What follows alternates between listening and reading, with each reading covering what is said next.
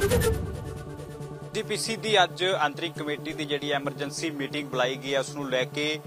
ਕਾਫੀ ਵਿਚਾਰ ਚਰਚਾ ਜਿਹੜੀ ਉਹ ਛਿੜ ਰਹੀ ਹੈ ਕਿਉਂਕਿ ਇੱਕ ਪਹਿਲੀ ਵਾਰ ਲਗਭਗ ਹੋਇਆ ਜਦੋਂ ਕਿ ਐਸਜੀਪੀਸੀ ਦੇ ਐਗਜ਼ੈਕਟਿਵ ਮੈਂਬਰਾਂ ਨੂੰ ਜਦਕਿ ਦੂਜੇ ਪਾਸੇ ਅ, ਜਿਹੜੇ ਐਸਜੀਪੀਸੀ ਦੇ ਮੈਂਬਰ ਨੇ ਉਹਨਾਂ ਨੂੰ ਵੀ ਕਿਸੇ ਤਰ੍ਹਾਂ ਦੇ ਏਜੰਡੇ ਦਾ ਨਹੀਂ ਪਤਾ ਕਿ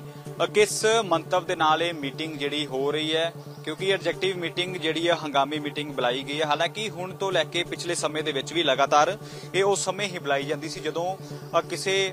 ਸੀਨੀਅਰ ਨੂੰ ਬਦਲਣਾ ਹੁੰਦਾ ਹੈ ਜਾਂ ਫਿਰ ਉਸ ਦੀਆਂ ਸੇਵਾਵਾਂ ਜਿਹੜੀਆਂ ਨੇ ਉਹ ਤੁਰੰਤ ਪ੍ਰਭਾਵ ਦੇ ਨਾਲ ਖਤਮ ਕਰਨੀਆਂ ਹੁੰਦੀਆਂ। ਹਾਲਾਂਕਿ ਹੁਣ ਵੀ ਜੇਕਰ ਗੱਲ ਕੀਤੀ ਜਾਵੇ ਤਾਂ ਐਲਜੀਪੀਸੀ ਪ੍ਰਧਾਨ ਨੇ ਜਿਹੜੇ ਉਹ ਨਜ਼ਦੀਕ ਜਿਹੜੀ ਜਾਣਕਾਰੀ ਮਿਲੀ ਹੈ ਕਿ ਕਿਸੇ ਹੋਰ ਜਗ੍ਹਾ ਦੇ ਉੱਪਰ ਵੀ ਜਿਹੜੇ ਮੈਂਬਰਾਂ ਦੇ ਨਾਲ ਜਾਂ ਕਈ ਜਿਹੜੇ ਸਿਲੈਕਟਡ ਪਰਸਨਸ ਨੇ, ਉਹਨਾਂ ਦੇ ਨਾਲ ਮੀਟਿੰਗ ਹੋ ਰਹੀ ਹੈ, ਕਿਉਂਕਿ ਮੀਟਿੰਗ ਜਿਹੜੀ ਆ, ਉਹ ਕਿਸ ਮੰਤਵ ਦੇ ਨਾਲ ਹੋ ਰਹੀ ਹੈ, ਕੀ ਮੀਟਿੰਗ ਦੇ ਵਿੱਚ ਕੀ ਸਾਹਮਣੇ ਆਵੇਗਾ, ਕਿਉਂਕਿ